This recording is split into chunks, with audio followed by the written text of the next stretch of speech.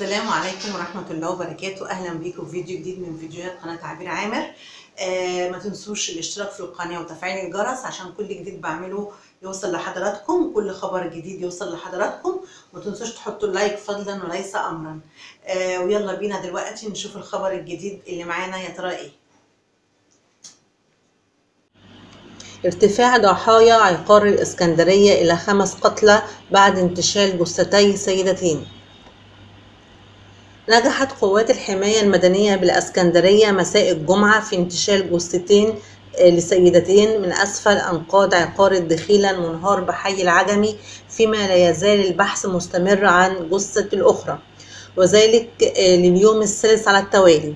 وفقا لمصدر أمني تم انتشال جثة السيدة من تحت الأنقاض تدعى نورة صابر 67 عاما أه وجثة أخرى لسيدة أخرى 37 عاما.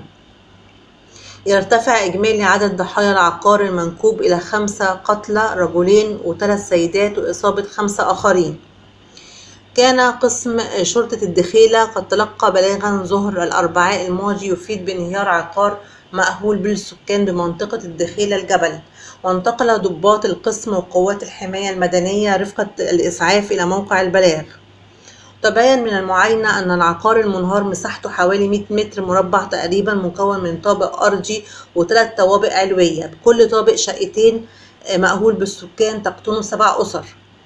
تحرر المحضر اللازم بالواقعة بقسم شرطة الدخيلة وبالعرض على النيابة العامة أمر المستشار محمد زغلول رئيس نيابة الدخيلة بالتحفظ على ملف العقار بحي العجمي وإحضاره إلى النيابة العامة خشية التلاعب فيه واستدعاء مسؤولي الحي لسؤالهم. تشكيل لجنة هندسية لمعاينة العقار المنهار توضيح أسبابه ومدى تأثيره على العقارات المجاورة وسؤال المصابين بالمستشفى وشهود الواقعة وسرعة إجراء تحريات المباحث حول الواقعة.